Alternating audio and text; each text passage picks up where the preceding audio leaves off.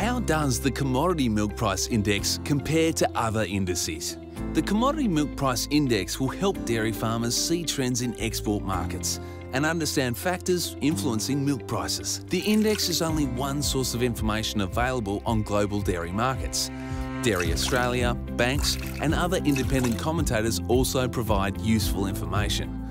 A source of information that many farmers use is the Global Dairy Trade, or GDT Price Index. The Commodity Milk Price Index and the GDT Price Index will have similar trends over time. Differences will show because GDT Price Index is expressed in US dollars, while the Commodity Milk Price Index is in Australian dollars. The product mix being exported from Australia will differ from global trade. For more information, visit www.agriculture.gov.au forward slash milk price index.